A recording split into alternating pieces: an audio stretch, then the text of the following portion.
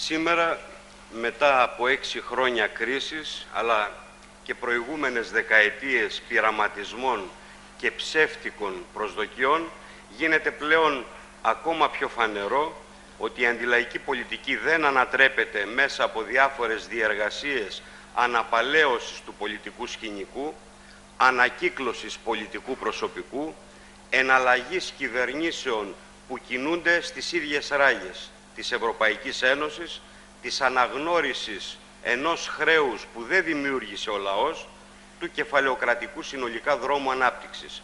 Σήμερα είναι επιτακτική αναγκαιότητα να μπει μπροστά η εργατική τάξη ως τάξη να αναδειχθεί ξανά, όπως άλλες φορές στην ιστορία, σε πρωτοπόρα δύναμη απελευθέρωσης όλης της κοινωνίας, των φυσικών συμμάχων της, των αυτοαπασχολούμενων ΕΒΕ, των φτωχών αγροτών, των νέων που σπουδάζουν, των γυναικών που βιώνουν την πολύμορφη ανισοτιμία, με άλλα λόγια να γίνει ο ίδιος ο λαός ο πρωταγωνιστής των εξελίξεων. Με τη συμμετοχή του στη λαϊκή πάλη, στην αναζωογόνηση του κινήματος, στην ενίσχυση, ισχυροποίηση και διεύρυνση των αγωνιστικών σωματείων, συλλόγων, συσπυρώσεων, του πανεργατικού αγωνιστικού μετόπου του Πάμε στο εργατικό κίνημα, της ΠΑΣΥ, της αγροτικής συσπήρωσης στον χώρο των αγροτών, της ΠΑΣΕΒΕ στον χώρο των επαγγελματοβιοτεχνών, του μετόπου αγώνα σπουδαστών του ΜΑΣ για τους φοιτητές και σπουδαστές, της ΟΓΕ στις γυναίκες. Με την επιλογή ταυτόχρονα για πολύ μεγάλη ισχυροποίηση του Κομμουνιστικού Κόμματος Ελλάδας παντού. Το ΚΚΕ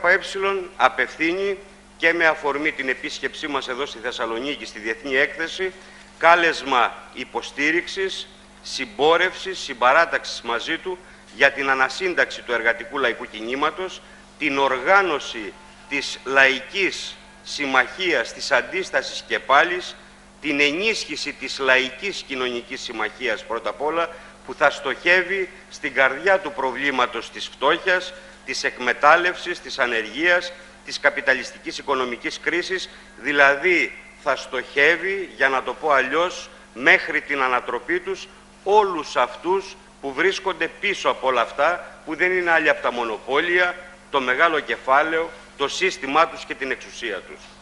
Το Κομμουνιστικό Κόμμα Ελλάδας θέτει ανοιχτά και καθαρά στο λαό το εξής ζήτημα. Στη δύσκολη και κρίσιμη συγκυρία που διανύουμε, κάθε πολιτική δύναμη οφείλει να τοποθετηθεί και να κριθεί από το λαό με βάση την απάντηση που θα δώσει σε ορισμένα βασικά ερωτήματα. Πώς και πότε θα ανακτηθούν οι τεράστιες απώλειες του λαού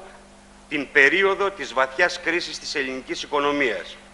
Ποιος δρόμος ανάπτυξης μπορεί να διασφαλίσει την ικανοποίηση των κοινωνικών αναγκών που σήμερα θυσιάζονται στο βωμό της κερδοφορίας, στο βωμό της ανταγωνιστικότητας των μεγάλων μονοπωλιακών ομίλων.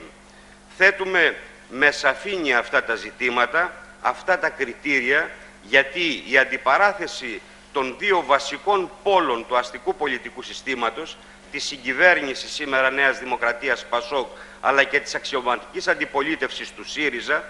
επιχειρούν να εγκλωβίσουν και να καθυλώσουν την λαϊκή αγωνία για την επόμενη μέρα στο, στο απατηλό ερώτημα ποια αστική κυβέρνηση μπορεί να διασφαλίσει πιο γρήγορα την επιστροφή στην καπιταλιστική ανάπτυξη και να διαπραγματευτεί πιο αποτελεσματικά με την Τρόικα.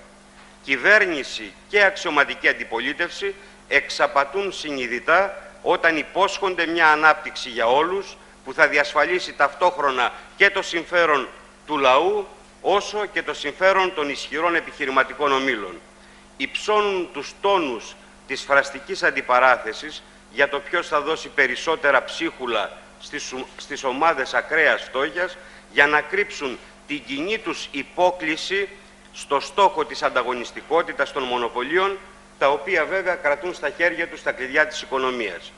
Όμως τα στοιχεία και τα γεγονότα είναι αμήλικτα. Μπορεί για παράδειγμα η ελληνική οικονομία να βελτίωσε σημαντικά τις επιδόσεις της στην ανταγωνιστικότητα τα τελευταία τρία χρόνια, σύμφωνα μάλιστα με το World Economic Forum, και φέτος να ανέβηκε πράγματι 10 θέσεις στην παγκόσμια κατάταξη σε σχέση με πέρσι. Όμως αυτή την πλήρωσαν με μεγάλες απώλειες οι εργαζόμενοι της πατρίδας μας, τα λαϊκά στρώματα.